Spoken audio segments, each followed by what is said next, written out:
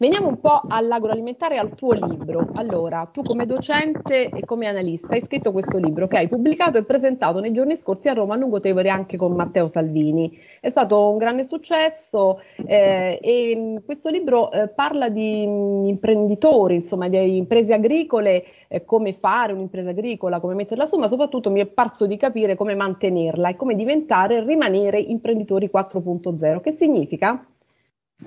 Significa eh, che l'agricoltore adesso non è più solo eh, quello che zappa la terra, che, che ha, è a contatto con il terreno e produce e basta. Eh, gli agricoltori in questo momento devono essere appunto proiettati al mercato, sapere come vendere i prodotti, come venderli, come generare un'azione di marketing per essere sul mercato e soprattutto per eh, rimanerci sul mercato, perché la concorrenza eh, è davvero schiacciante, soprattutto la grande distribuzione, e quindi noi abbiamo dei prodotti di qualità. Il Made in Italy è riconosciuto nel mondo. Si può attivare un'azione di internazionalizzazione piuttosto che un'azione interna di vendita sul prodotto che eh, mette a disposizione di tanti italiani dei prodotti di altissima qualità, però nessuno lo sa. Quindi il tema è come aprire un'azienda agricola e capire se il progetto di investimento che voglio fare possa essere redditizio nel futuro, perché tanti hanno volontà, voglia di eh, attivarsi in questo settore, ci sono anche tantissime opportunità, soprattutto PN, con il PNRR, ma non solo,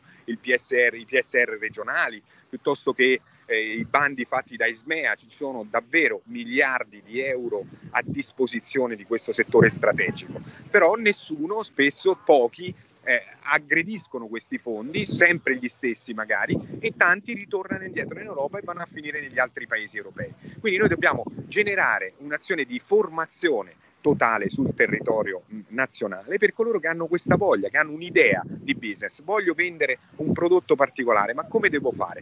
Ecco, il mio libro serve ad aiutare tutti coloro che hanno questa voglia, volontà, passione, ma non hanno gli strumenti adeguati per farlo. Al termine del libro io eh, propongo, è allegato alla, alla, guida chiaramente, alla guida pratica, un business plan agricolo. Un business plan è un, un documento che, strutturato che ti permette di capire se tra cinque anni con la mia azienda sarò in piedi e se questa azienda avrà eh, fatto utile, sarà cresciuta, in che modo. Quindi il business plan agricolo costruisce tutto questo. È eh, un'idea che chiaramente ha avuto un grandissimo successo non lo dico perché è un mio libro, ma perché non esiste null'altro di, di, eh, di simile sul panorama editoriale e neanche sul panorama informatico per quanto riguarda il software eh, della costruzione del business plan e quindi sta avendo un grande successo. La Maggioli Editore ha sposato questo progetto, l'abbiamo presentato a lungo il Tevere anche con la presenza del sottosegretario eh, Gianmarco Centinaio. Centinaio, ho visto, vero? Con, sì. Eh, con eh, uno, uno, strepitoso e importante successo perché è, stata la, è uscito a settembre 2020, non c'è mai stato modo di poter fare una presentazione ufficiale, quindi l'abbiamo fatto